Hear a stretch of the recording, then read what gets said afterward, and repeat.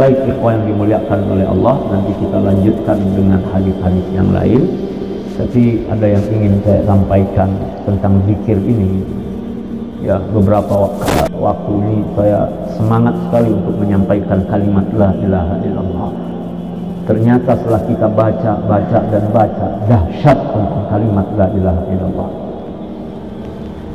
Yang pertama, ketika sahabat mengumandangkan azan, mengucapkan asyhadu an la ilaha illallah, Rasulullah SAW bersabda kepada sahabat ini, khurajta minan nar, kau dibebaskan dari api neraka.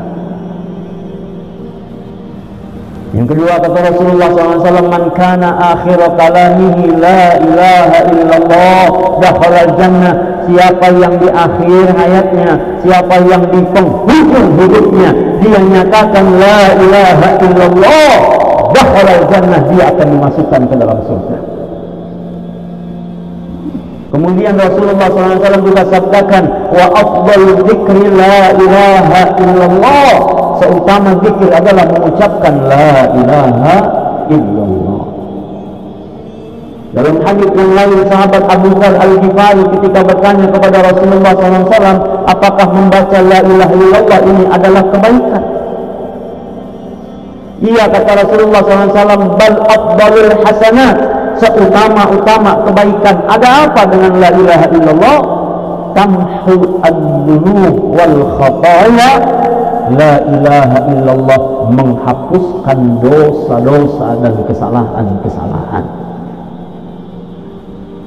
Membaca la ilaha illallah wahdahu la syarika la lahul mulku wa lahul amru yuhyi wa yumiit wa huwa ala kulli syai'in qadir 100 kali maka nilainya seperti membebaskan 10 orang budak.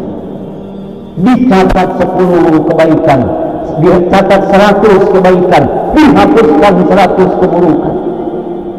Dan selanjutnya Allah Akbar Allah Akbar ikhwah mengucapkan la ilaha illallah adalah sesuatu yang dahsyat.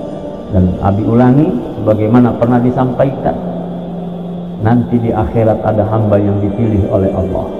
99 kartu diberikan kepadanya dan kartu ini adalah catatan dosanya. Satu kartunya maddal basal sepanjang mata memandang. Ditanya oleh Allah apakah benar ini isi catatan ini? Adakah yang hoax?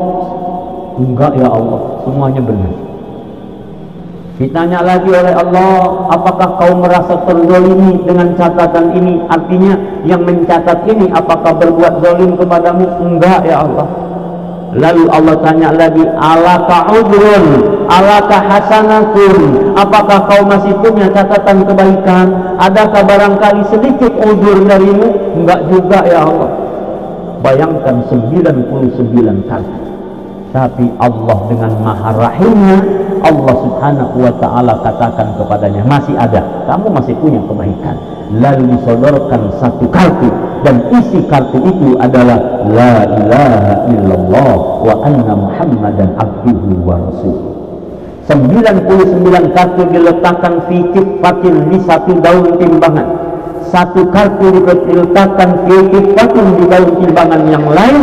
Ketika ditimbang mana yang lebih berat ternyata satu kartu yang isinya la ilaha illallah jadi zikir ini nggak main-main anak-anakku semuanya.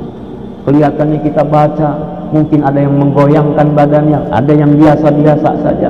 Kalimat ini sering kita baca, kelihatannya biasa, tapi sesungguhnya kalimat ini adalah kalimat yang luar biasa zikir ini adalah zikir yang luar biasa dan majlis zikir adalah majlis yang luar biasa.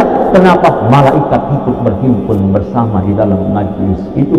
La ilaha illallah la ilaha illallah